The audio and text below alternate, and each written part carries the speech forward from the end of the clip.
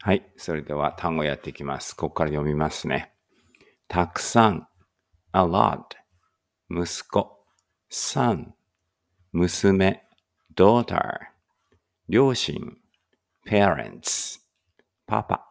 daddy。ママ。mom。お客さん。customer。お店。shop。走る。run。走った。ran。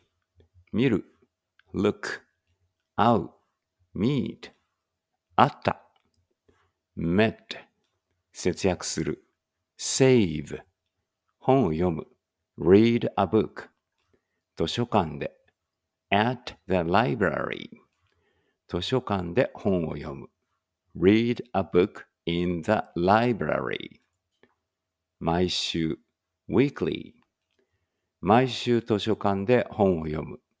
Read a book in the library every week. 毎日 every day 毎日図書館で本を読む read a book in the library every day これ字小さいですかねこれで見ましょうか私は I あ、でもこれで終わりか終わりです。あ、違う出しちゃった。最後、これでいきましょうか。はい。私は毎日図書館で本を読む。I read, I read books in the library every day.